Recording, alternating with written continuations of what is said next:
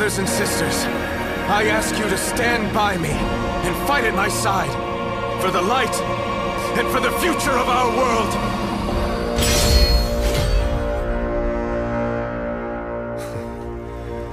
Perhaps we'll meet again at daybreak.